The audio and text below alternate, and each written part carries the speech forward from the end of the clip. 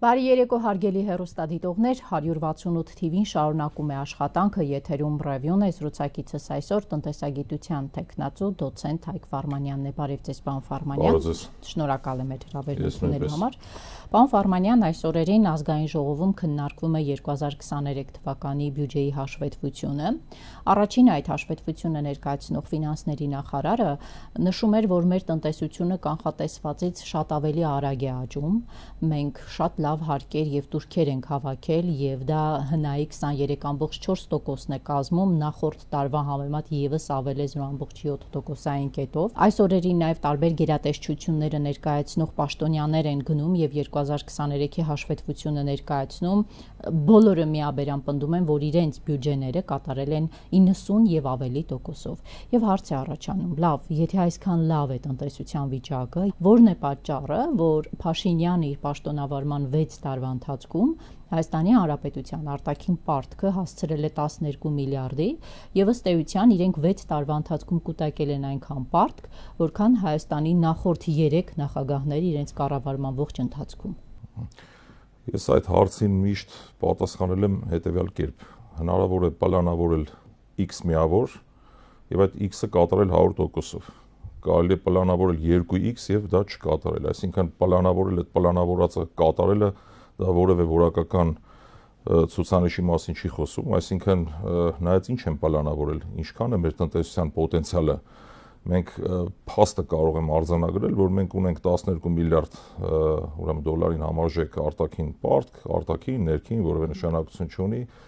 եւ մարդկանց կյանքը որևէ կերպ չի բարելավել։ Հիմա ես նույն նայում եմ իմ ծնողների օրինակով, արդյոք իմ ծնողների կենսաթոշակը ավելացել է, այսինքն մենք գործ ունենք, այսպես տեսնում ենք, ականատեսենք ծիծաղելի ցուցանիշների, որ չգիտեմ 3000 3-ից 5000 դրամով կենսաթոշակ է ավելացել, որը պետք է լիներ մի քանի անգամ ավել, եւ այդ պարտքի ավելացմանը զուգահեռ մենք տեսնում ենք, որ իրենց բարեկեցությունը, այսինքն գործող իշխանությունների, падգամավորների իշխանական բարեկեցությունն է ավելացել այդ չարչարված, նորից պետք է անդրադառնան պարգևավճարներին, անտեղի գործողումներին, շռայլ ծախսերին, պետական միջոցների վատման հետ մենք գործ ունենք, այսինքն ականատեսենք, որ պետական միջոցները վատնվում են եւ մարդկանց բարեկեցությունը դրանից չի ավելացել այսինքն խոսել որ բալա ինչ որ գերակատարվել է կարելի նորից եմ կրկնում կարելի է պլանավորել ինչ որ բան եւ դա գերակատարել իդեպ ապարքեվավճարների մասին խոսեցիք նախարարին ֆինանսների հարց են տալիս ասում են միլիարդավոր դրամների ապարքեվատրումներ եք բաժանել գերատեսչություններում չափել եք Պարքեվատրմանը համարժեք են մարդիկ պաշտոնյաները աշխատել իրենց գործը կատարել, ասում է դե մենք չափման ձև չունենք, չափման միավոր չկա, ոչ չեն կարել դա։ Այսինքն այս խնդիրներ ունենք։ Բնականաբար դա չափելի չի եւ ընդհանրապես գործող իշխանությունները շահագրգռում են, նույն ասենք ոստիկանության օրինակ հիմա բերենք։ Այսինքն հարցը չի առաջանում այսօրվա նույն կարմիր բերետավորները, սև բերետավորները ինչու են այդպես ողջևորված մարդկանց ծեծելով, չգիտեմ, բերման ենթարկում նույն սրբան սրբազան շարժման մասնակիցներին եւ այլն, Պարզը որ պետք է բյուջեն համալրեն ինչ որ մի կերպ, այսպես քերելով ժողովրդական լեզվով ասեմ, եւ ապարքեվատրել նաեւ նմանատիպ մարդկանց, որպեսի ծառայեն իրենց։ Ուրիշ բան չեմ տեսնում ես այս։ Իհարկե չափելի չի։ Ով կարող է չափել ում աշխատանքն է արդյունավետ, ում ոչ, չկա նման չափանիշ։ Տնտեսության հետ կապված, բան Ֆարմանյան, տեսեք, Մենք շատ հաճախ խոսում ենք մի կողմում թվերի մասին, մյուս կողմում փորձում ենք մեր տնտեսության որակը հասկանալ։ Հիմա լավ թվերը դնում ենք մի կողմ, Ռուսաստանում պատերազմ է, Հայաստանը վերաարտահանումների համար շատ լավ երկիր է, վերաարտահանումների շնորհիվ մեր բյուջե փող է գալիս, բայց մեր տնտեսության որակը ինչպիսին է, մենք եկեք դա քաղաքացուն բացատրենք, որ ինքը պատկերացնի, եթե ռուս-ուկրաինական պատերազմը ավարտվի, որակապես ինչպիսի տնտեսություն է մեզ մնալու։ Ինչ ունենք այս առումով։ Նախ ես շատ զարմացած եմ եւ կուզեմ անդրադառնալ մի շատ կարևոր խնդրի։ Այսօր Հայաստանի Հանրապետությունը Եվրասիական տնտեսական միության անդամ երկիր է։ Մեր տնտեսությունը գերազանցապես կախված է Ռուսաստանի Դաշնությունից, բայց մենք տեսնում ենք հակառուսական գործողություններ։ Ամենօրյա կտրվածքով հակառուսական քարոշություն, նույնիսկ абսուրդը հասել այն աշճանի, որ այսօր ակնհայտ է, չէ, որ մենք հերանեկարում, եթե այսպես շարունակվի գործող իշխանությունները մնան մենք դառնալու ենք ընդամենը Թուրքիայի, ես կասեի նաև Ադրբեջանի կցորդ ոչ թե Թուրքիայի, մեր տնտեսությունը գերազանցապես կախված է Ռուսաստանի Դաշնությունից, մասնավորապես 60%-ից ավել պատրաստի արտադրանքի արտանվում է Ռուսաստանի Դաշնություն, չեմ խոսում նաև այդ վերարտանումների մասին, բայց վարվում է հակառուսական քարոշչություն։ Բայց քարոշչությունը չի վերում նրան, որ Ռուսաստանից մեր տնտեսական կախվածությունը նվազեցնի։ Ռուսաստանից տնտեսական կախվածությունը չի նվազում, նաև ես շատ զարմացած եմ Ռուսաստանի Դաշնության ռուսական իշխանությունների գործողությունների վրա, որ նրանք առ այսօր կարծում եմ հերթը կհասնի նաև դրան, որ չեն կիրառում որոշակի պատժամիջոցներ։ Մեր նկատմամբ։ Այո, Հայաստանի Օրինակ ինչպիսի։ Օրինակ ասենք դրամական փոխանցումների արգելումը նախորդ տարի մոտարապես 4 միլիարդ դոլարին համարժեք գումարը փոխանցվել ֆիզանձանց միջոցով Հայաստանի Հանրապետություն, որը կազմում է մեր համախառն ներքին արդյունքի 10%-ից ավելին։ Դիցուկ ասենք նույն դրամական փոխանցումների արգելքը, արտահաման արգելքը, այսինքն պատրաստի արտադրանքի պատկերացրեք 60%-ից ավելին արտանվում է Ռուսաստանի Դաշնություն։ Հիմա դուք պատկերացնում եք ձեզ, որ լսեն Հայաստանում ապրող հակառուսները, այն մարդիկ, որոնք ուղակի ֆինանսավորվում են, որpիսի այս կամ այն մեդիայից կամ օրինակ Հայաստանի հանրային հեռուստաընկերության եթերից քննադատեն եւ անվանարկեն Ռուսաստանը։ Հիմա ձեզ որ լսեն ինչ կասեն, կասեն Հայկ Վարմանյանը Ռուսաստանին առաջարկում է պատժամիջոց կիրառել։ Ես Ռուսաստանին չեմ առաջարկում պատժամիջոցներ, ես ընդհանրապես խոսում եմ այն ռիսկերի մասին, որոնք հնարավոր է որ տեղի ունենան։ Այսինքն եթե միակողմանիորեն վարվում է հակառուսական քաղաքականություն առանց հերուն նայելու, առանց հերուն տեսնելու, առանց վերելուծության, առանց մեր տնտեսության կառուցվածքը հասկանալու եւ մարդիկ չեն մտածում թե ինչի կարող են հանդիպել, ինչի մասին է խոսքը, այսինքն ոչ թե հուշում եմ, այլ ասում եմ, որ կա նմանատիպ ռիսկեր։ Այսինքն ձեր գնահատմամբ Հայաստանը ռուսական պատժամիջոցներին միացած երկիր է, թե քողարկված։ Այո, միանշանակ այո, ոչ միայն քողարկված, այլ նաև բացահայտ, ինչու քողարկված։ Ընդունվում են կառավարության այնպիսի որոշումներ, որոնք սահմանափակում են նույն այդ վերարտահանումը առանձին որոշմամբ կառավարության որոշում գոյություն ունի, որով առանձին ապրանքատեսակների ցանկ է հրապարակվել, որոնց արտահանումը Ռուսաստանի Դաշնությունը երկակի նշանակության ապրանքները նկատի ունեք։ Դա քողարկված, այդ ձեր ասած քողարկված տարբերակով։ Կա նաև ասենք նույն այդ միր քարտերի սահմանափակումը Հայաստանի Հանրապետությունում։ Նույն բանկային համակարգ այսօր եկեք նայեք ինչ ինչեր է կատարվում, ինչ է կատարվում բանկային համակարգում բանկերը առևտրային Հայաստանի Հանրապետության ներկայացնում են այնպիսի պահանջներ տնտեսվարող սուբյեկտներին, որոնք իրենց գործառույթների մեջ ընդհանրապես չեն մտնում։ Անունը դնում են, ասենք, դիցուկ օրինակ, չգիտեմ, փողերի լվացման մասին օրենքին են հղում անում, այլ ինչ որ օրենսդրական ակտերի են հղում անում։ Որտեղ տնտեսվարող սուբյեկտների նկատի ունեք ՀՀ քաղաքացի թե ՌԴ քաղաքացի։ Հայաստանի Հանրապետության տնտեսվարող սուբյեկտները, որոնք միջազգային առևտրի շրջանակներում դրամական փոխանցումներ են իրականացնում եվրոպական երկրներ, նույն Ռուսաստանի Դաշնություն, որը նշանակություն չունի, պահանջում են այնպիսի փաստաթղթեր, պահանջում են այնպիսի տեղեկություններ, որը ընդհանրապես կապ չունի բանկային գործունեության հետ։ Նպատակը։ Նպատակը ես առավել քան վստահ եմ, առավել քան վստահ եմ, որ նրանք ուղղորդվում են, նրանց գործունեությունը կանոնակարգվում է նույն ամերիկյան դեսպանատան կողմից, կենտրոնական բանկը ամերիկյան դեսպանատան միջոցով հրահանգավորում է բանկերին, առևտրային բանկերին, որպեսզի կիրառեն այսպես քողարկված ուղակի թե անուղակի ռուսական պատժամիջոցներ։ Այսինքն փաստացի ես կարող եմ վստահաբար պնդել, որ այո միացել են։ Թե չէ ոնց կարող ենք բացատրել այն, որ օրինակ ենթադրենք տնտեսվարող սուբյեկտը վաճառում է X ապրանք, այդ ապրանքի դիմաց պետք է ստանա ռուսական ռուբլով համապատասխան գումար, ասենք պայմանագրի շրջանակներում եւ չեն թույլ տալիս այդ գումարը ստանալու պատճառաբանելով որ այն ապրանքը, որը արտահանվել է Ռուսաստանի Դաշնություն,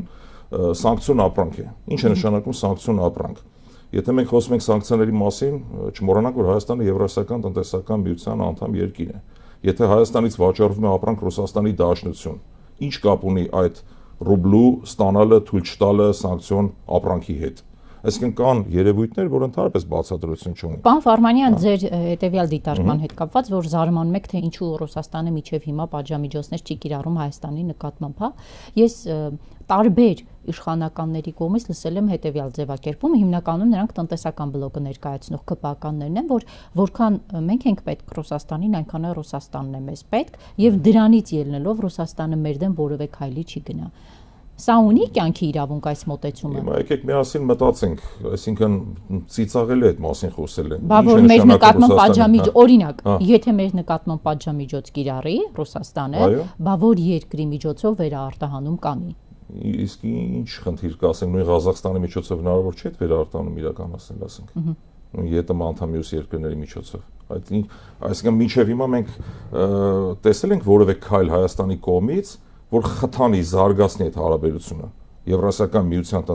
տնտեսական միության շրջանակներում այդ հարաբերությունը զարգացնի։ Ճիշտ հակառակը։ Անընդհատ ինչ-որ խոչընդոտներ ենք հանդիպում, նորից եմ կրկնում բանկային համակարգի միջոցով, նույն մաքսային ծառայության միջոցով, արդեն դա ֆորմալ բնույթ կրեց կրկնում կա կառավարության որոշում, որը սահմանափակված է առանձին ապրանքատեսակների ելքը եւ այլն։ Եվ թմկարել, որ Հայաստանը ունի տնտեսական աճ, ըստ մենք գործ ունենք երկակի ստանդարտների հետ։ Հայաստանի Հանրապետության տնտեսական աճը բացառապես պայմանավորված է այդ վերարտանումով։ Հսկայական քանակի ոսկի, թանկարժեք մետաղներ, արծաթ վերջի ամիսների ընթացքում հսկայական քանակությամբ վերարտանվել են Հայաստանի Հանրապետությունից եւ այդ տնտեսվարողները վճարել են շահութահարկ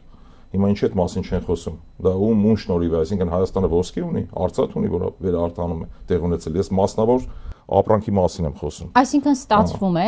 մենք օգտվում ենք Ռուսաստանից, հա, օգտվում ենք, որ այդ պետությունը հիմա պատերազմի մեջ է, մեր երկրի տնտեսություն դրա արդյունքում փող է գալիս, բայց մնացած հատվածներում մենք քննադատում ենք ռուսներին։ Հայաստանը փոխել է, կարծում եմ, քաղաքական, այստեղ վեկտորի խնդիր կա։ Հայաստանի Հանրապետությունը փոխել է քաղաքական վեկտորը դեպի արևմուտք, Օրինակ մեր հարևան Վրաստանը շատ ավելի խելամիտ է իդեմս իրենց կառավարության, որ այսպես չի։ Դե դասեր են էլի քաղել 2008-ից հետո։ Տեսնում ենք ինչ է կատարվում Վրաստանում, ընդհանրապես մի այսպես անշար օրենք ընդունեցին այդ արտասահմանյան գործակալների մասին օրենքը, որը բարիզբոնի մասով ժողովրդական լեզվով ասեմ, դա անշար օրենք է ընդամենը, որ եթե 20%-ից ավելին ֆինանսավորվում է արտասահմանյան աղբյուրներից, իրենք պարտավոր են հաշվետվություն ներկայացնել։ Եվ նույնիսկ այսպես օտարերկրյա արտգործնախարարների դեմքով մասնակցում են ներքին գործերին այդ երկրի, մասնակցում են երթերի, միտինգների եւ այլն եւ Վրաստանի իշխանությունները ունեն այնքան ուղեղ, այնքան խելք, որ գիտակցելով իրենց տնտեսական շահը, ուրեմն ճիշտ ուղությամբ են շարժում։ Այսօրվանից ուժի մեջ է այո մտել։ Այո, դա ուժի մեջ։ Այդ օրենքը Միացյալ Նահանգները ընդունել է, բայց մյուս պետությունները երկրորդ նպատակը մեկն է ներքաշել Վրաստանին երկրորդ ճակատ որպես, այսպես պատերազմ սկսել Ռուսաստանի Դաշնության դեմ։ Բայց գալով ԵԱՏՄ-ին, պարոն Ֆարմանյան, արդյոք արդարացված չէ կամ կյանքին իրավունք չունի իշխանության այն պնդումը, որ միայն ռուսական շուկայից պետք չի կախված մնալ եւ Հայաստանը պետք է ինչպես իր անվտանգային համակարգը դիվերսիֆիկացնի, այլ նաեւ նույնը անի տնտեսության հետ։ Ես հիշում եմ վերջերս անվտանգության խորհրդի քարտուղարը հանրային հեռուստաընկերության եթերում հպարտորեն նշում էր, որ մենք բավականին լավ չափերով առևտուր ենք անում արդեն Միացյալ Նահանգների հետ, Արաբական Միացյալ Էմիրությունների հետ, գնում ենք դիվերսիֆիկացիայի, ինչն է վատ մի քննադատեք, ինչու կախված մնանք միայն ռուսներից տալիս հարցին, փորձեմ հարցով պատասխանել, ինչ չափով, ինչ ծավալներ են կազմում այդ։ Ինչի մասին է խոսքը։ Կա գետ 1 արտադրանք, հարց եմ ուղղում Հայաստանի Հանրապետությունում ինչ ենք մենք արտադրում եւ ինչ պահանջարկ ունի այդ X արտադրանք այդ վերացական։ Ես չեմ տեսնում նման բան։ թանկարժեք մետաղները, այդ քաջանի տրանզամոլիբդենային կոմբինատ եւ այլն այդ բնական հանածոների մասին չեմ խոսում։ Սովորական պատրաստի արտադրանք Հայաստան ինչ է արտադրում։ Կոնյակ, մուրաբա,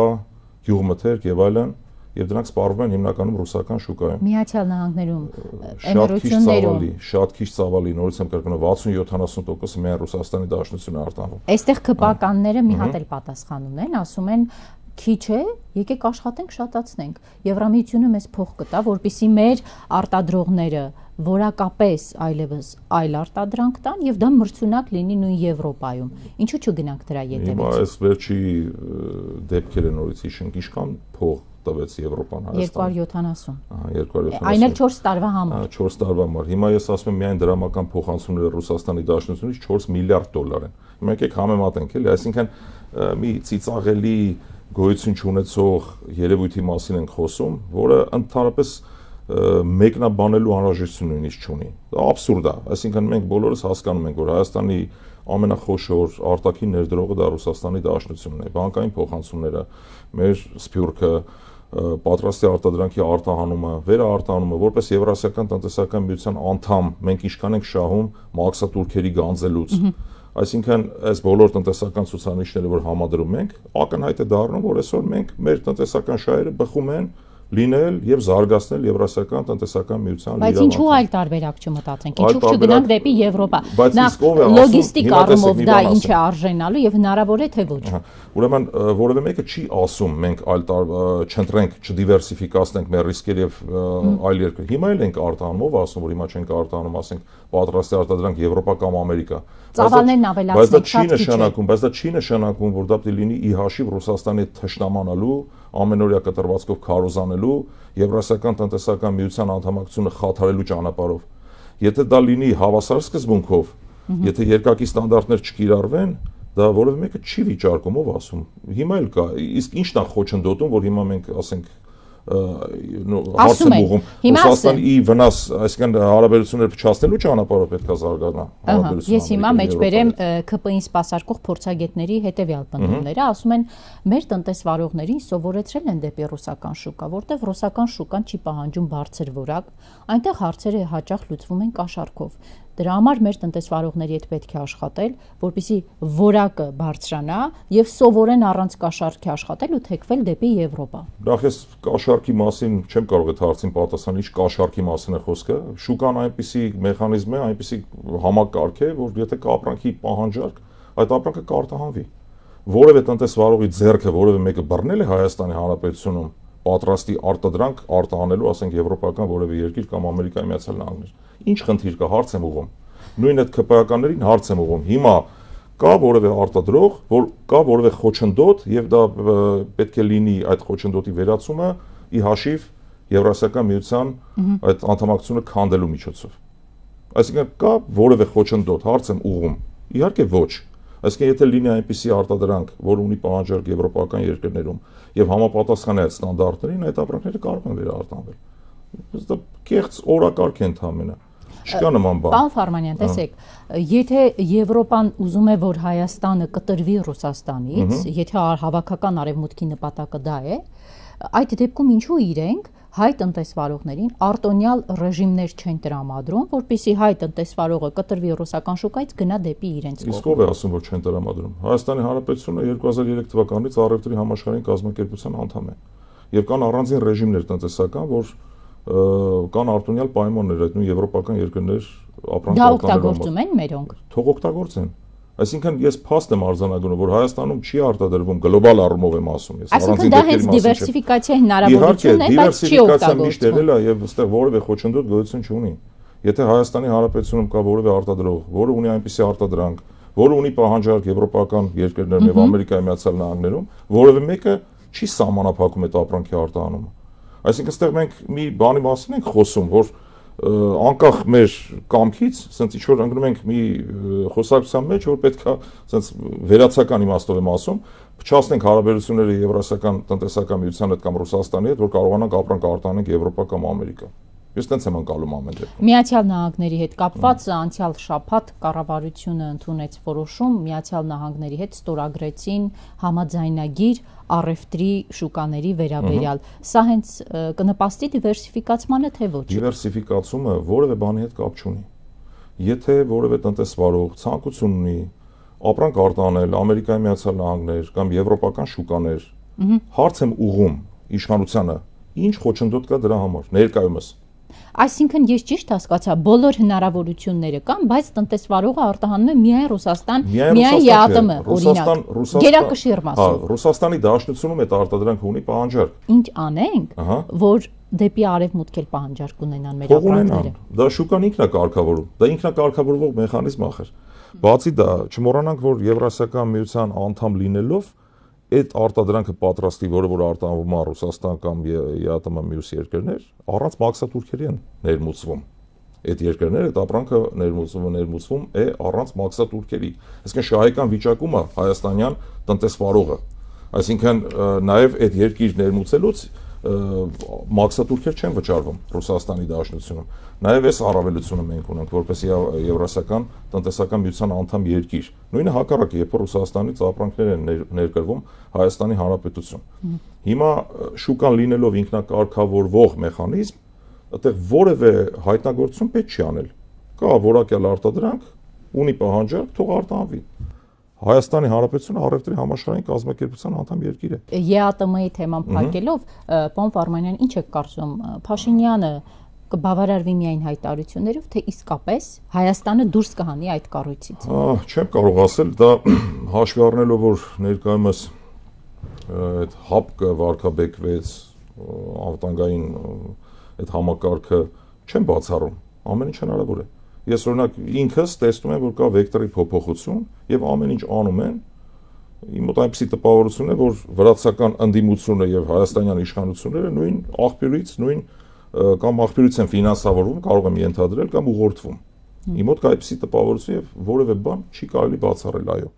Վրաստանի հետ կապված, այո, այսօրվանից Վրաստանում գործում է, այսպես ասած, օտար երկրյա գործակալների վերաբերյալ այդ օրենքը, որին դեմ էր Վրաստանի ընդդիմությունը։ Պարոն Ֆարմանյան, ո՞րն է պատճառը, որ Օրինակ Հայաստանը չի մտածում նման օրենք ընդունելու մասին Հայաստանի այս իշխանությունը, բայց որոշում է ամենասովորական քաղաքացուն պարտադրել ներկայացնել հայտարարագիր 2025 թվականից արդեն բոլորի համար, հա։ Նախ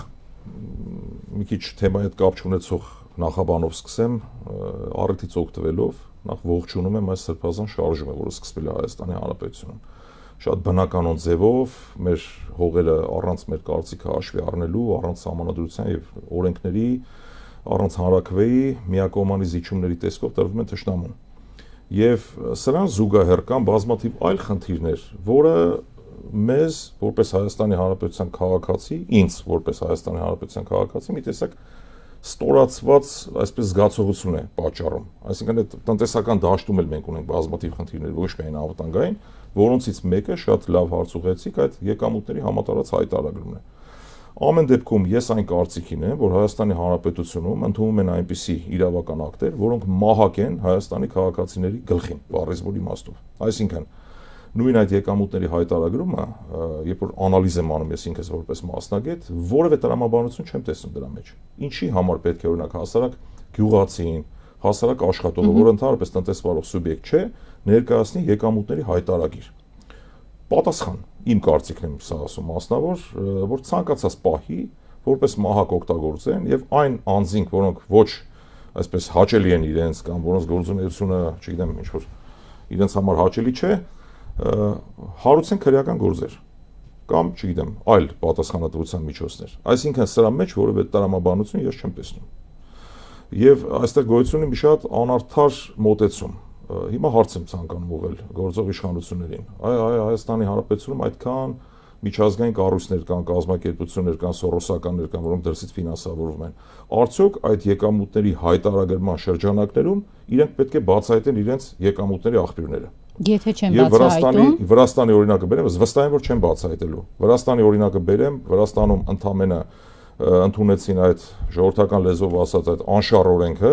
եւ ամբողջ վրացական ժողովուրդը 1 ժամով ոտքի կանգնեց եւ մասնակցում էին Մերձբալթյան այդ երկրների արտգործնախարարները իրենց դեմքով մասնակցում էին այդ միտինգներին միջամտում էին այլ երկրի ներքին գործերին, այլ կերպ ասած։ Եվ Վրաստանը բարեբախտաբար կարողացավ հաղթարել այդ խոչընդոտը եւ ընդունել այդ օրենքը։ Թող Հայաստանի իշխանություններն էլ բարի գտնվեն ընդունեն նմանատիպ օրենք։ Կամ հարց եմ ուղում, թող պատասխանեն, ես չգիտեմ։ Վստահ եմ առավել քան, որ այդ եկամուտների հայտարարման շրջանակներում օտարերկրյա ճակերտավոր գործակալները կամ դրսից ֆինանսավորող կազմակերպությունները չեն բացահայտելու իրենց եկամուտները Ետ սա իմ ներքին համոզմունքն է։ Այսինքն գործակալները կշարունակեն գործակալական աշխատանք անել Հայաստանի ներսում, բայց օրինակ 100 կիլո լոլիկ վաճառած գյուղացին պետք է հայտարարագիր ներկայացնի ու ասի թե ինչքան գումար է ստացել որտեղից։ Այո, այո, եւ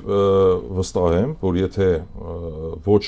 բարեհաճ, ասես ոնց ասեմ հայերենով, այնպիսի մարդիկ, որոնք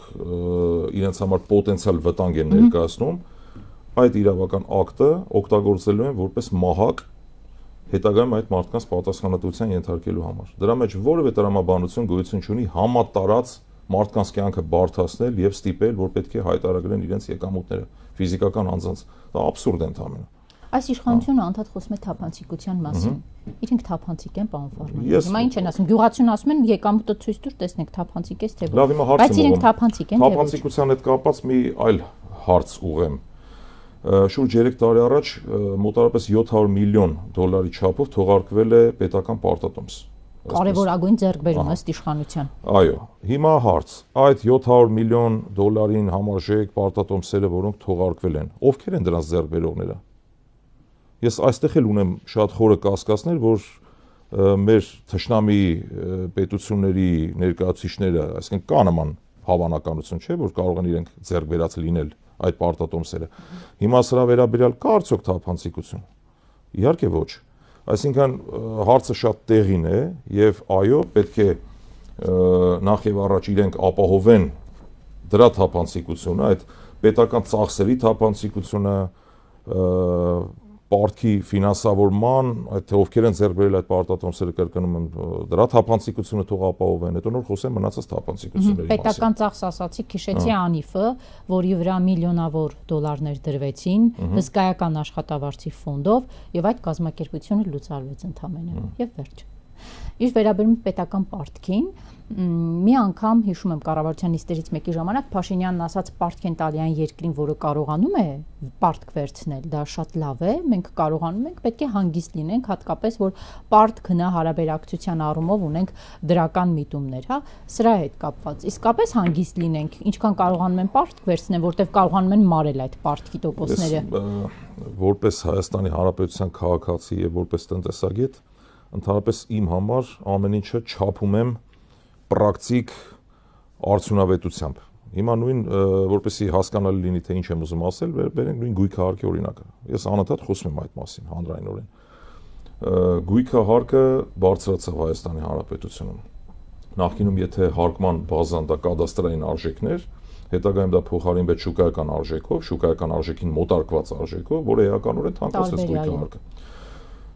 Ինչի համար է գույքը հարկը։ Դա որպես տեղական հարկ այսինքն համայնքային բյուջե գնացող հարկատեսակ, պետք է ապահովի համայնքի բարեկեցությունը, չգիտեմ, բարելավ ինչ-որ բան։ Հիմա այս փոփոխությունից հետո ես իմ համայնքում որևէ փոփոխություն չեմ տեսնում։ Հաջորդը պարտք են վերցրել, լավ 12 միլիարդ դոլար, ասենք ասում ենք մեր պետական պարտքն է։ Հարց. ում կյանքն է բարելավել։ Ինչ է փոխվել մեր կյանքում։ Ասֆալտ են փռել, բան Ֆարմանյան ասֆալտ են փռել, բա մեր պաշտպանությունը, բա մարդկանց կենսաթոշակները, աշխատավարձերը, եթե միջին աշխատավարձի բարելավում իրենք ի նկատի ունեն միայն իրենց այդ падգամավորների եւ նախարարների աշխատավարձով միջին, որը մեջ մտնում է նաեւ իրենց ապահովավճարը, դա ցուցանիշ չի։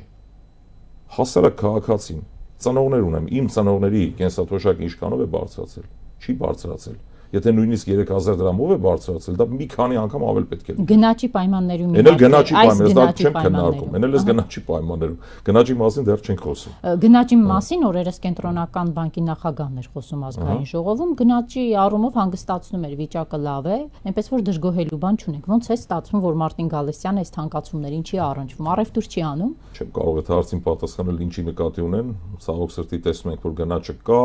մարդկանց եկամուտները չեն ավելանում, չեն ինդեքսավորվում, որևէ բան չի փոխվում դրական առումով։ Լավ, հասարակ քաղաքացի, հա թողնենք մասնագիտական բանը մի կողմ, հարց եմ տալիս։ Ում կյանքն է բարելավել։ Ասֆալտը հա, եթե ասֆալտ արել են սահմանում, հա, Կպականների բոլորը ձեռք են բերել մի քանի աշխարհ գույք, միջին ասում ենք, ասում են միջինով բարձրացավ աշխատավարձը եւ այլն եւ այլն ասում եք ում կյանքն է փոխվել, փոխվել է օրինակ գնել Սանոսյանի կյանքը, որը երբ դարձավ քպական падգամավոր, նա падգամավոր դարձավ աշխարհագրության ուսուցչից, ընդամենը 53 թե 54000 դրամ էր 2018-ի իր հայտարարագրում հայտարարել հայտարագրել իսկ հիմա գնել Սանոսյանի մայրը 230 հազար դոլարանոց տուն է կառուցում գնել Սանոսյան ունի մի քանի տուն նաև մեկը երազ բնակելի թաղամասում այսպես նրանց կյանքը փոխվեց շրջանառության հարկին եմ ուզում անդրադառնանք փոքր բիզնեսներն են դժգոհում որովհետև նրանք այլևս արտոնյալ ռեժիմով չեն աշխատելու պարոն Ֆարմանյան տեսեք ստացվում է փոքր բիզնեսով զբաղվող մարդկանց կառավարությունը ասում է ես քեզ այլևս արտոնություն չեմ տալի որովհետև դու այդ արտոնության տակ հակնվում ես, անընդհատ փոքր ես մնում, բյուջե փողվեր, բայց մյուս կողմից բյուջեից հսկայական միլիոններ է հատկացնում դրամաշնորի տեսքով, օրինակ նույն ՏՏ ոլորտի ընկերություններին, որոնք շատ լավ վիճակում են։ Օրինակ ամենավերջի հատկացումը անցյալ շաբաթ էր 90 միլիոն հատկացրեցին Սփյուռքից Հայաստան եկած 4 ստարտափ ընկերությունների, որոնք ի դեպ դրամաշնորին տեր դարձան առանց մրցույթին մասնակցելու եւ հաղթելու։ Ուրեմն տեսեք, ընդհանրապես ամբողջ աշխարհում այդ շրջանառության հարկի մեխանիզմը, հարկային արտոնությունները դրանք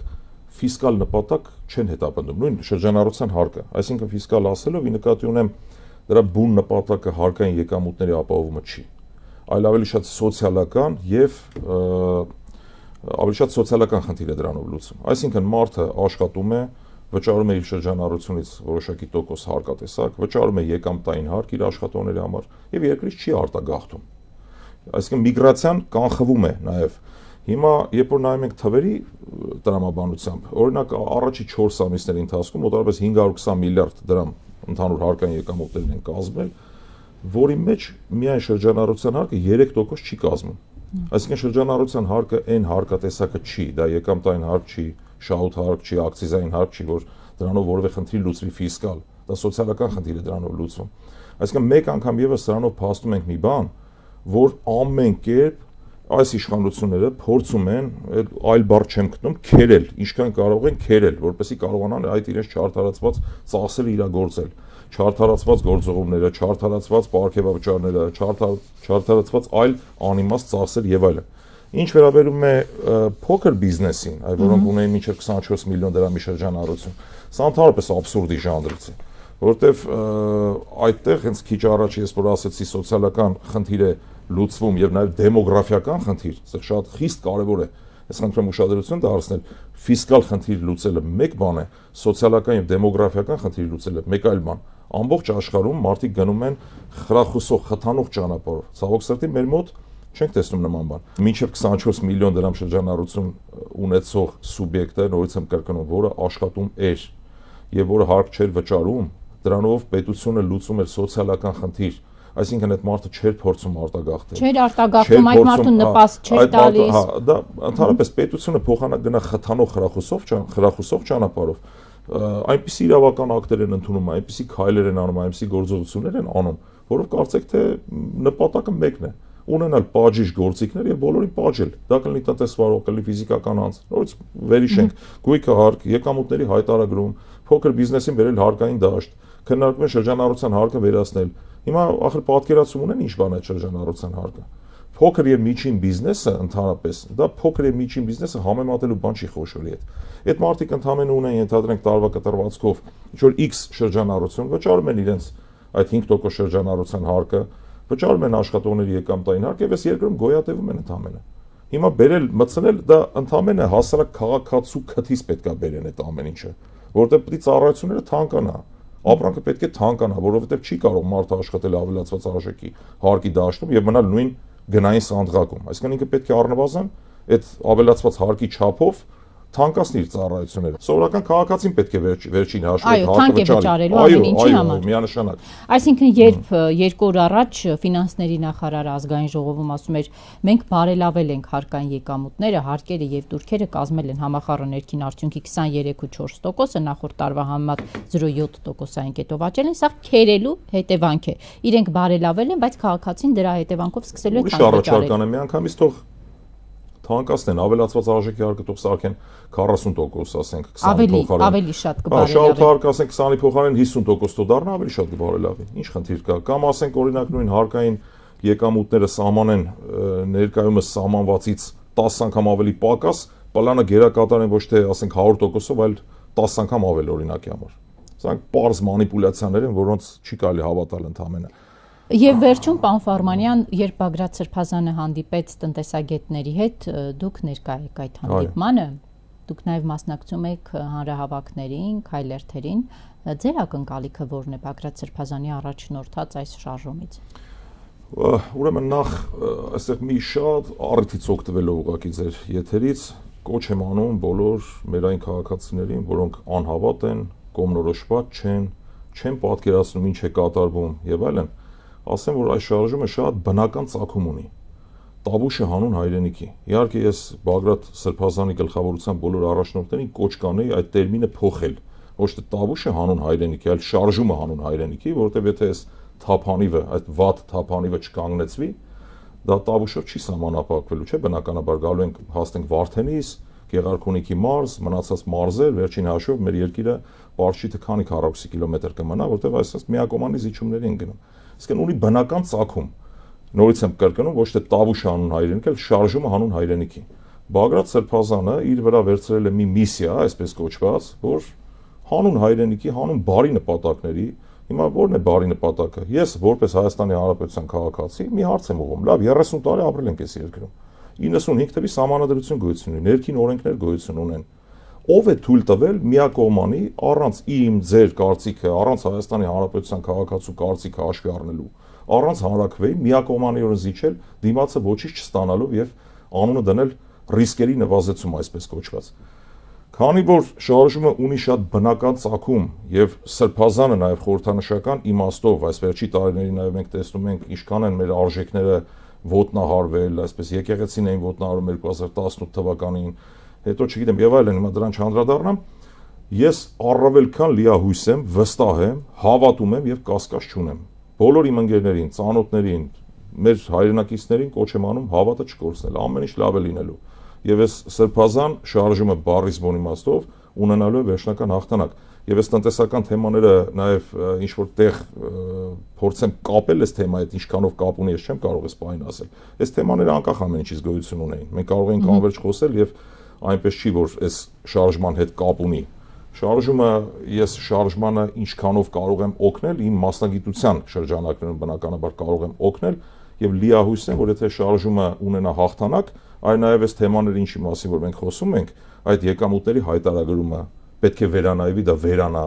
փոքր ու միջին բիզնեսին պետք է տրվեն արտոնություններ, որ մարդիկ իրենց լավը զգան։ Հիմա մի հատ կեղծ թեզ են դրել շրջանառության մեջ, ասում են խոշոր բիզնեսին հուշեք, որ իրենք վախենալու բան չունեն բայց ի տարբերություն 18 թվականի սա սիրո շարժում է, սա հանուն գաղափարի, այսինքն հանուն մեր հայրենիքի շարժում է։ Ինչու պետք է խոշոր բիզնեսը վախենալու բան ունենա։ 18 թվին էին, որ ասում աղքատների ձեռքից վերցնենք Ռոբին Գուդի նման բերենք բաժանենք աղքատներին։ Դե բաժանեցին միայն։ Հիմա ես չգիտեմ ինչ բաժանեցին։ Բացարձակապես որևէ մեկը որևէ վախենալու բան չունի ես վստահեցնում եմ, որ ամեն ինչ շատ լավ է լինելու եւ այո, հավատում եմ Սրբազան շարժման հաղթանակին։ Պարոն Ֆարմանյան, ձեր դիտարկմամբ ինչու է իշխանությունը ամեն գնով այս շարժումը կապում Ռուսաստանի հետ։ Տեսեք, քանի կար ասում էին Բագրատ Սրբազանը գործակալ է։ Ազգային անվտանգության ծառայությունը ասում է, որ Բագրատ Սրբազանը գործակալ չէ, եւ դրա մասին որևէ ստուգումների արդյունքում որևէ ապացույց չկա։ Հիմա ինչու են ամեն կերպ այդքանից հետո փորձում կապել Ռուսաստանի հետ եւ ընդհանրապես ինչու է Փաշինյանը անընդհատ խոսում ֆորպոստից։ Չի խոսում թուրքական վիլայետ դառնալու վտանգից, բայց խոսում է ֆորպոստից։ Ինչու է վախենում ինքը Ռուսաստանից այդքան։ Ես դարձել իմ կարծիքը կարող եմ ընդհանրապես հնչեցնել բնականաբար, ինչքանով որ վերլուծում եմ, համադրում եմ փաստերը, նախ եւ առաջ այստեղ իրենք որ եկել են իշխանության, սա իմ ներքին համոզմունքն է, բնականաբար փաստերի չեմ տիրապետում, բայց վստահ եմ դրանում, որ եկել են ծրագրով այս մարտիկ, որ Հայաստանը անջատեն Ռուսաստանից, այս տարածաշրջանից դուրս մղեն, կամած կամած, քայլ առ քայլ, ոնց որ ասենք մեր խորհրդանիշները, չգիտեմ, Արադ լեռը, մյուսը, չգիտեմ, ներվայնացնում են մեր հարևաններին եւ այլն, ասպես ճակերտավոր, իրենք ամեն ինչ անում են, որ Ռուսաստանին այս տարածաշրջանից դուրս մղեն ու թեքվեն դեպի արևմուտք։ Ու այդ հավաքական արևմուտք կոչվածի օպերատորը այս տարածաշրջանը բնականաբար Թուրքիան է։ Այսինքն այդ արևմուտք ասածը Ամերիկան կամ Ֆրանսիան չեն գալու մեր փոխարեն կարմեն կամ մեզ պաշտպանեն։ Իդեպ լինենք ազնիվ իրենք ասում են։ Մեր վրա հույս չդնեք անվտանգության առումով։ 200 տարի բան են նույնիսկ այդ օտարերկրյա ֆինանսավորմամբ մեր հերոստա եթերը այնպեսի աղբ է մարդկանց ուղեղը լցրել, որ բոլորին թվում է, որ Ռուսաստան 200 տարի եղել է մեր դարավոր թշնամին։ Ճիշտ հակառակը։ Մեր սովետական միության տարիներին ում շնորհիվ է Հայաստանը իր ինքնությունը վերագտել, մշակութային վերելք ապրել, չգիտեմ, մետրո ունեցել եւ այլն եւ այլն։ Չէ, ում շնորհիվ դարձավ 28000 28000 կիլոմետր տարածքով Հայաստան։ Պատմական խոսում ես, իրենք միանգամից այսպես ժողովրդական լեզվով ասած քարկապ են ընկնում, ու ասում են մեր կարծիքը մենք չենք փոխում։ 10000 քառակուսից դարձավ 28000։ 10000-ից դարձավ, դա չեն ասում։ Դա չգիտեմ, ինչ որ անհեթեթ բաներ են խոսում, 200 տարի ռուսը մեր թշնամին է։ Ես ոչ թե ռուսների պաշտպանն եմ, փաստն եմ արձանագրում, այսինքն այսօր տանել էզևի թշնամանքի ուրեմն անընդհատ խոսել ռուսական գործակալ եւ այլն, ուղղակի ծիծաղել է, գիտեք, մարդը, երբ որ հասարակ քաղաքացի, հիմա կոչ եմ անում բոլորին, հիմա մի պահ մտածեք, ժողովուրդ ջան։ Այսինքն դուք չեք մտածում, որ դառնալու եք թուրքական վիլայետ, դա հեչ Էրդողանն ու Ալիևը օրակարգ են թելադրում, ստեղ ասենք ամեն օր մենք Էրդողանի ու Ալիևի օրակարգով ենք շարժվում, բայց ասենք Ռուսաստանը մեր թշնամին է երկու տարվա։ Ասենք մեկնաբանելու որևէ բան չկա։ Ուղղակի մարդկանց հետ պետքա բացատրական աշխատանք տարվի։ Մարդիկ ընդամենը քարոշչա քարոշչության զոհ են դարձել իմ կարծիքով։ Դա իմ կարծիքով, որովհետև որքանով ես տեղյակ եմ, հսկայական ֆինանսավորում կա Ամերիկայի Միացյալ Նահանգներից, եվրոպական երկրներից եւ մեր հերոստա եթերը այդ աղբով է լցված։ Մեկը կա անունը չտամ ասում եմ ավելի լավ է լինել օտարերկրյա բան թուրքիշուն քան օտարերկրյա գործակալ չեմ ուզում անունը հնչեցնեմ եւ բոլորը գիտեն ում մասն է խոսքը հա հիմա այդ թուրքիշանը մի հատ հարց կարելի է տալ դա մեկնաբանելու բանը չկա չեմ էլ ուզում հարց տամ շնորհակալ եմ պարոն Ֆարմանյան ես նույնպես շնորհակալ եմ հարգելի հերոստադիտողներ հիշեցնեմ զրուցակիցս այսօր Հայկ Ֆարմանյանն էր այսօր այսքանը ցտեսություն